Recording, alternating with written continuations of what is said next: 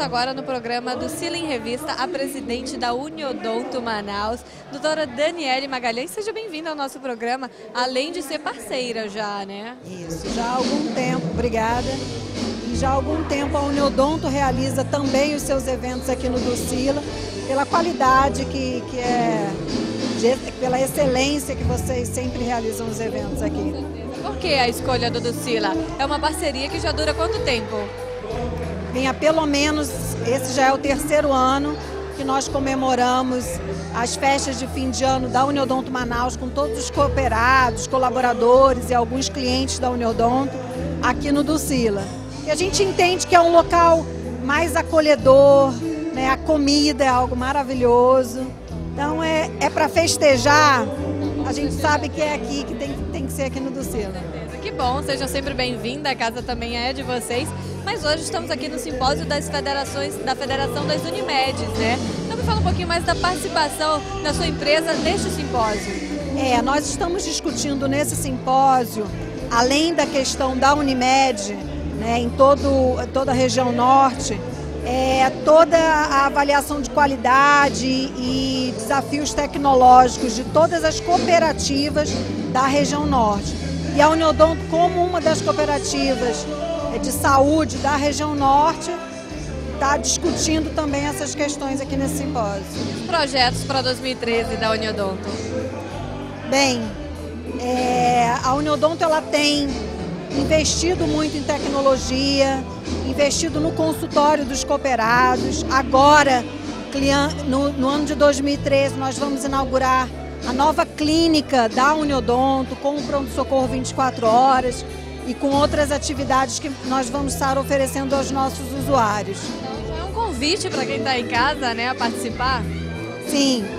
É, no próximo ano nós completamos 25 anos de existência aqui no Amazonas e estamos provavelmente também, Manaus será sede do, da próxima convenção Uniodonto do Brasil que ao longo de 11 anos nunca houve uma convenção da Uniodonto do Brasil no norte do país. Se Deus quiser, Manaus vai ser a próxima sede. Olha, se Deus quiser, o programa do Cine em Revista vai cobrir este grandioso evento. Obrigada pela entrevista, doutora. Fique à vontade, seja sempre bem-vindo ao nosso programa. Muitíssimo obrigada a todos.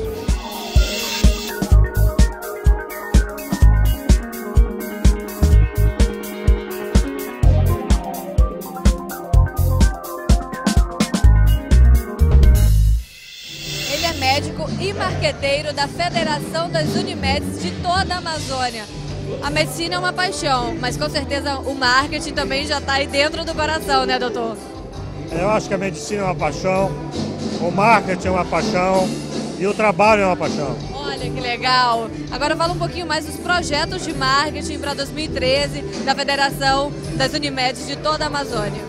A federação tem uma missão importante: zelar pela marca Unimed cuidar, ajudar, proteger e auxiliar todas as Unimedes da região amazônica naquilo que elas precisarem.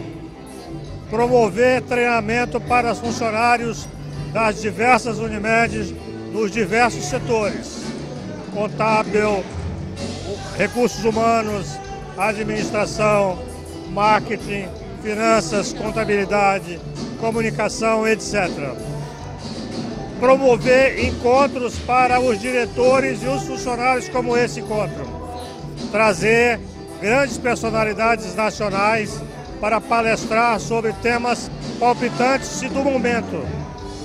E nesse sentido, esse encontro está sendo muito bem sucedido. Que bom, que bom. Eventos como este que a gente está acompanhando agora não deixa de ser uma estratégia de marketing para a empresa, né, doutor? Com certeza, com certeza.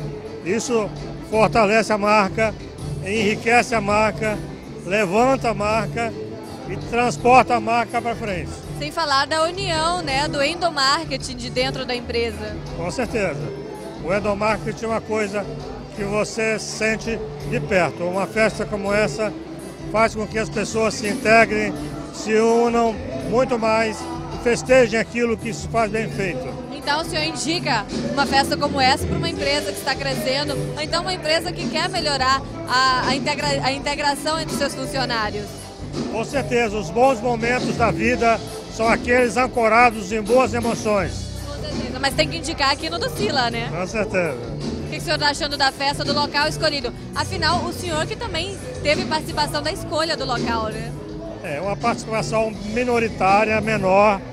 A participação majoritária é sempre das mulheres. Elas sabem mais, elas conhecem mais, elas sentem melhor as coisas. O local é fantástico.